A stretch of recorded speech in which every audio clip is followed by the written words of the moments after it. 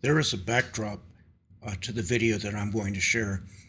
I had a discussion in the evening with my mother in law, who's 89, and she was saying, Well, you, are talking about Christ and all these things of value uh, to you, but none of the people around here, my neighbors, none of them believe the same way you do.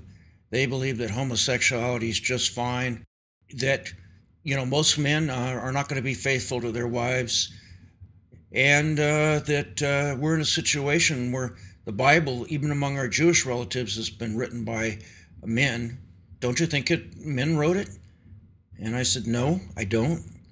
This is going to be a long discussion, but it's also indicative of the times that we're living in.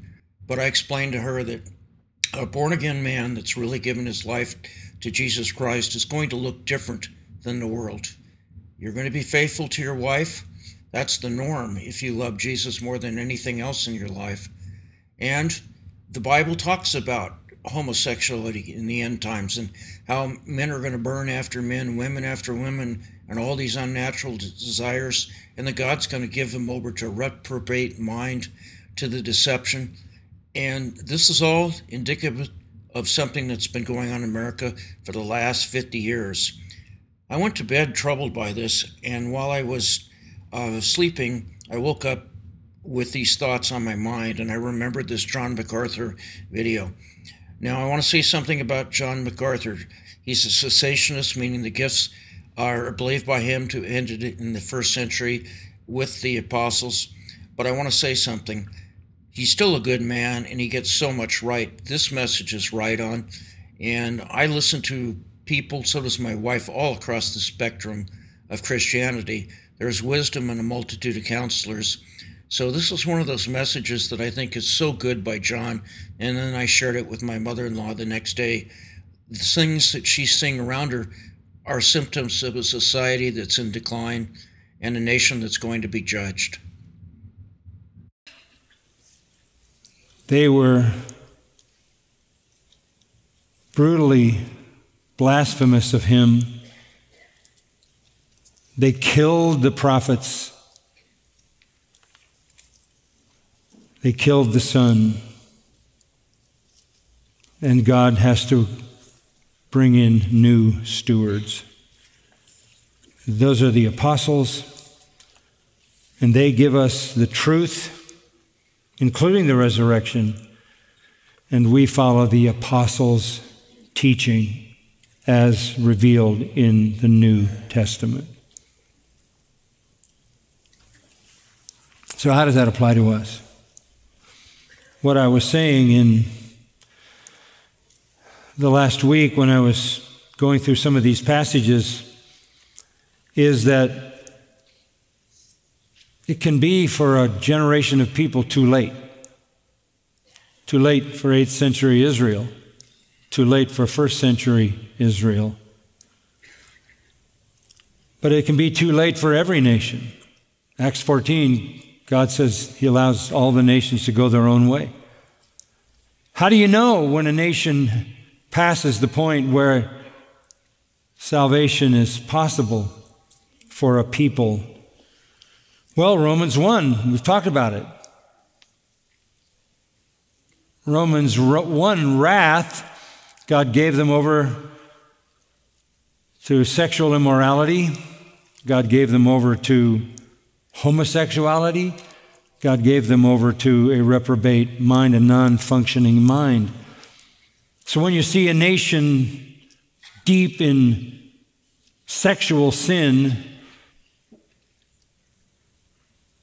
pervasively affirming of homosexuality, and the insanity of a reprobate mind, where they make laws to criminalize righteousness and to legalize gross evil, you know that nation's under judgment. Amen. And the message to this nation, our message to this nation, if you say to the Lord, Here am I, send me, the message is this it's too late for the nation. We're under judgment. But it's not too late for the elect. Because, as Romans 11 says, some are chosen. They can believe, they will believe when we proclaim the gospel. What's our message to this nation? You're under judgment. It's too late. Judgment has been unleashed. You can hear but not understand. You can see but not perceive. Your heart may be attracted but hardened by God. But God has His people. So we warn because we don't know who those people are. And we also offer the grace of the gospel. That's our calling. Too late for a nation, not too late for the elect. Father, we thank you for your word.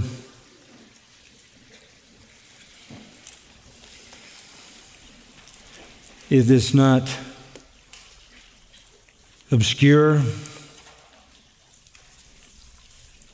It is not hard to understand. It is crystal clear.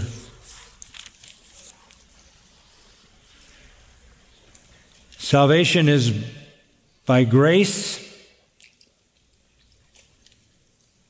and at the present time, a remnant according to your gracious choice. is being gathered.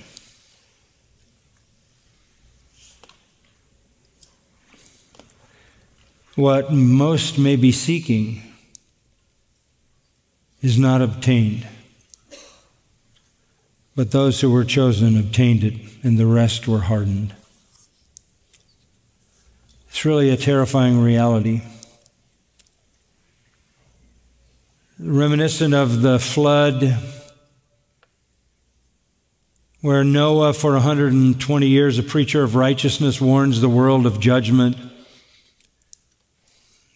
And after 120 years of warning, there are only eight souls that escape. This is human history. People harden their hearts so long that they go past a point and it becomes too late. That is certainly the history of all the nations and ours as well. But may we cry out with warning of the existing judgment and the far worse judgment to come in the afterlife. And may we call sinners to repent and believe and tell them there is no salvation in any other than Jesus Christ.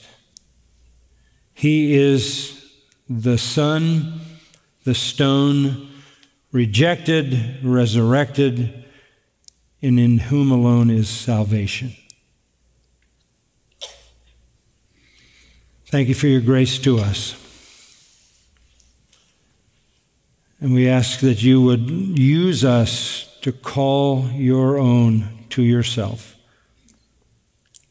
Because they cannot come unless they hear the message concerning Christ. May that be ever on our hearts and lips, we pray. For his sake, amen.